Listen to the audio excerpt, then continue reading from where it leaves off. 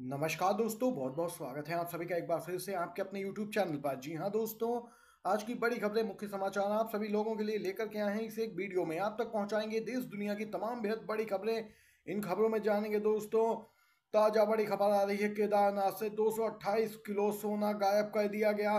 क्या कुछ अपडेट है दोस्तों? बिग ब्रेकिंग न्यूज़ दूसरी तरफ़ सुप्रीम कोर्ट के रवैये से सख्ते में मोदी सरकार। क्या कुछ हुआ है? आज सुनवाई में सीजीआई का चला है, क्या डंडा? जानिए, आगे पूरी खबर शामिल की गई है। वहीं, लोकसभा के बाद राज्यसभा में भी एनडीए का संख्या बल घटा है। इंडिया गठबंधन मजबूती से खड़ा है। दोस्तों, और भी बड़ी खबरें आप तक पहुंचाएँगे। दूसरी तरफ़, दोस्तों, आप भी मानते हैं, इंडिया गठबंधन की ताकत ऐसे ही दिन पर दिन बढ़ती रहेगी और आने वाले चार राज्यों के विधानसभा चुनाव में इंडिया गठबंधन सरकार बनाएगा। तो लाइक कीजिएगा वीडियो को कमेंट बॉक्स में आप ज़रूर लिख दीजिएगा। जय हिंद, जय भारत। जी हाँ दोस्तों, सुप्रीम कोर्ट से ताज़ा बड़ी खबर निकल के आ रही है। Big breaking news. Supreme Court के रवैये से सख्ते में मोदी सरकार। CJI DY Chandrachud action mode में दिख रहे हैं। दोस्तों, आधार कार्ड हो या फिर पीएमएलए में संशोधन। आपको बताते चलें, इन्हीं तरह के मनमाने बिल पारित किए गए। और यहाँ पे लगातार लोकतंत्र को कुचलने का काम किया गया। अब सुप्रीम कोर्ट ने 2014 के बाद से ऐसे सभी मामलों की पुनर्समीक्षा की बात कही है, जिन्हें स्पीकर ने मनी बिल बताकर लोकसभा में चर्चा से बचने का रास्ता निकाला। कथित तौर पे अनुच्छेद 110 का दुरुपयोग किया गया। आपको बताते चलें, मोदी सरकार चली जाती तो सुप्रीम कोर्ट की इस समीक्षा का कोई मतलब नहीं होता। लेकिन दोस्तों, यहाँ पे मोदी सरकार को उनके काले कारनामों के लिए खासा दंडित करने का ये अवसर है। आपको बताते चलें, पीएमएलए से लेकर तमाम यहाँ पे कई विवादित कानून हैं, जो अभी सुप्रीम कोर्ट में विचाराधीन हैं। मुख्य न्यायाधीश कई मौक़ों पर कह चुके हैं कि लोकतंत्र की रक्षा के लिए वह तत्पर है और सुनवाई करनी पड़ी तो दिन हो या रात वह सुनवाई करेंगे। मुख्य न्यायाधीश का ये बयान दोस्तों पुराना है, लेकिन मौजूदा समय में काफ़ी अहम माना जा रहा है। सीजीआई एक्शन मोड में दिख रहे हैं। सुप्रीम कोर्ट के रवैये से सख्ते में है मोदी सरकार।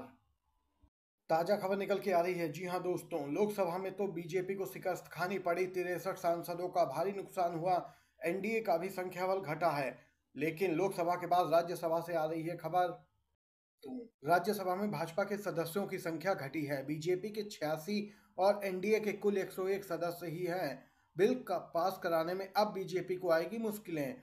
ऊपरी सदन की 226 सीटों में से बीजेपी के छियासी सदस्यों को मिलाकर एनडीए के पास अभी सिर्फ़ 101 सांसद रह गए और यहाँ बहुमत के जादुई आंकड़े से काफ़ी पीछे है। ऐसे में बजट सत्र के दौरान आने वाले विधेयकों को राज्यसभा से पास करवाना मोदी सरकार के लिए एक चुनौती होने वाली है।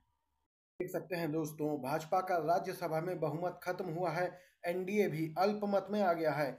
बजट सत्र शुरू होने वाला है, तारीखों का ऐलान हो गया है। केंद्रीय बजट पेश किया जाएगा, कई अहम बिल भी हो सकते हैं। और इससे पहले राज्यसभा में सरकार के पास बहुमत नहीं रह गया है। आपको बताते चलें, बीते शनिवार को ऊपरी सदन से चार मनोनीत सदस्यों के रिटायरमेंट के साथ ही इस समय राज्यसभा की 19 जगह खाली हो चुकी हैं। यहाँ पे ये बड़ी खबर निकल के आई दोस्तों, अगली अपडेट की तरफ़ बढ़ते हैं। दोस्तों सुब्रमण्यम स्वामी, जो वोट हमेशा तो बीजेपी को ही देते हैं, लेकिन हमेशा मोदी सरकार पर हमलावर रहते हैं। पूर्व राज्यसभा सांसद हैं और इन्होंने आज नए अंदाज में प्रधानमंत्री मोदी पर जोरदार हमला बोला। सोशल मीडिया प्लेटफॉर्म एक्स पर इन्होंने एक पोस्ट कर ये हमला बोला। उन्होंने कहा कि अगर हम बीजेपी में अपनी पार्टी को टाइटैनिक जहाज़ की तरह डूबते हुए देखना चाहते हैं तो मोदी इसके लिए सबसे उपयुक्त है। सुब्रमण्यम स्वामी यही नहीं रुके। उन्होंने कहा कि उपचुनाव के नतीजों से पता चलता है कि बीजेपी हमेशा के लिए डूबने की तैयारी में है। देख सकते हैं दोस्तों, यहाँ पे बीजेपी के ही नेता सुब्रमण्यम स्वामी ने अपनी ही पार्टी पर जोरदार हमला बोला है और बीजेपी का जो ग्राफ दिन पर दिन गिरता जा रहा है। बीजेपी के प्रति लोग लोगों में जो विश्वास कमी आ रही है, उसके लिए सीधे तौर पर प्रधानमंत्री मोदी को जिम्मेदार ठहराया है सुब्रमण्यम स्वामी ने। क्या आप भी सुब्रमण्यम स्वामी की बातों से सहमत हैं दोस्तों या नहीं? ज़रूर बताइए, अपनी भी राय कमेंट बॉक्स में। इसी के साथ अगली अपडेट की ओर बढ़ते हैं। दोस्तों, ताज़ा बड़ी अपडेट आ रही है। केदारनाथ से 228 किलो सोना गायब कर दिया गया और अब तक कोई जाँच नहीं हुई। दोस्तों, अभी तक घोटाले यहाँ पे अन्य जगहों पे होते रहते थे, लेकिन अब यहाँ पे केदारनाथ से 228 किलो सोना गायब होने की बड़ी खबर निकल के आई है। आपको बताते चले, शंकराचार्य अभिमुक्तेश्वरानंद ने इस पूरे मामले में जाँच की मांग की है। इसके साथ ही उन्होंने महाराष्ट्र के पूर्व सीएम और शिवसेना उद्धव गुट के प्रमुख उद्धव ठाकरे को लेकर भी बड़ी बात कही। जी हाँ दोस्तों, उद्धव ठाकरे के साथ विश्वासघात हुआ है। जो विश्वासघात करे, वो हिंदू नहीं हो सकता है। ये यहाँ पे शंकराचार्य अभिमुक्तेश्वरानंद ने बड़ी बात कही है। हाल ही में प्रधानमंत्री ने इनसे मुलाकात की थी और यहाँ पे इनका आशीर्वाद भी लेने प्रधानमंत्री मोदी पहुँचे थे। उसके ठीक बाद इन्होंने यहाँ पे ज़बरदस्त तरीके से उद्धव ठाकरे को लेकर बड़ी बात कही, उनका पक्ष रखा है और स्पष्ट किया कि जो विश्वासघात करे, वो हिंदू नहीं हो सकता है। ये बड़ी बात कही दोस्तों, इसी के साथ अगली अपडेट की ओर बढ़ते हैं। बीजेपी में समीक्षा बैठकों का दौर जारी है, चिंतन मंथन लगातार जारी है कि आखिर इस बार बहुमत कैसे नहीं मिला? जी हाँ दोस्तों, मोदी मैजिक फेल हो गया और बीजेपी नेता यहाँ पे चुनाव हारते चले गए। चंडीगढ़ हारने को लेकर अब वित्त मंत्री ने चिंता ज़ाहिर कर दी है। पार्टी के प्रदर्शन पे आलोचना की है। हाल ही में हुए लोकसभा चुनाव में बीजेपी को यूपी, महाराष्ट्र समेत कई राज्यों में भारी नुकसान उठाना पड़ा है। इस दौरान यूपी में जहाँ बीजेपी की सीटें लगभग आधे से भी कम हो गईं, वहीं महाराष्ट्र में भी यही हाल रहा। इसके अलावा देश के कई ऐसे राज्य हैं, बीजेपी को नुकसान मिल है। आपको बताते चलें, केंद्र शासित प्रदेश, चंडीगढ़, जहाँ पे पहले बीजेपी सांसद था, वहाँ भी बीजेपी का यहाँ पे बुरा हसर हुआ। बीजेपी को चंडीगढ़ में हार मिली, और यहाँ से कांग्रेस के मनीष तिवारी ने जीत दर्ज की है। दक्षिण में कांग्रेस पार्टी दिन पर दिन मज़बूत होती जा रही है। तेलंगाना में भारत राष्ट्र समिति यानी बीआरएस के विधायक लगातार कांग्रेस में शामिल हो रहा है। बीआरएस पार्टी को एक और झटका, पंद्रह विधायक कांग्रेस पार्टी में शामिल हुए।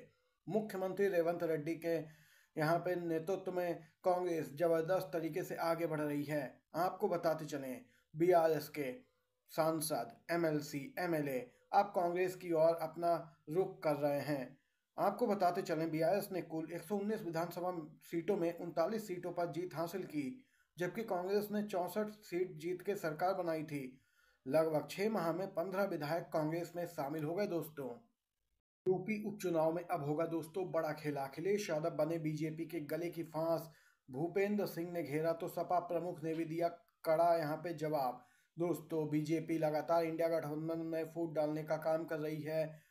बीते दिन कार्य समिति की बैठक उत्तर प्रदेश में बीजेपी की हुई, जहाँ पर बीजेपी यूपी प्रदेश अध्यक्ष भूपेंद्र सिंह ने कहा कि कांग्रेस आपके वोट बैंक पर यानी समाजवादी पार्टी के वोट बैंक पर नज़र बनाए हैं और यहाँ पे समाजवादी पार्टी को तोड़ देगी, जिस पर अखिलेश यादव ने पलटवार किया है। आप सभी को बताते चलें, अखिलेश यादव ने यहाँ पे ज़बरदस्त तरीके से पलटवार करते हुए कहा है कि आने वाले उपचुनाव में बीजेपी का हाल और भी खराब होने वाला है। दस सीटों पर दोस्तों, उपचुनाव है। अखिलेश यादव ने कहा कि दसों सीटें यहाँ पे इंडिया गठबंधन जीतेगा और यहाँ पे संयुक्त रूप से यानी समाजवादी पार्टी और कांग्रेस एक साथ मिलकर चुनावी मैदान में उतरने वाले हैं। ये कहा है अखिलेश यादव ने और यहाँ पे बीजेपी को करारा जवाब दिया है। आज की हर एक बड़ी खबर आप तक पहुँचाई दोस्तों। वीडियो पसंद आया हो तो लाइक कीजिएगा, शेयर कीजिएगा। आप सभी का बहुत बहुत धन्यवाद।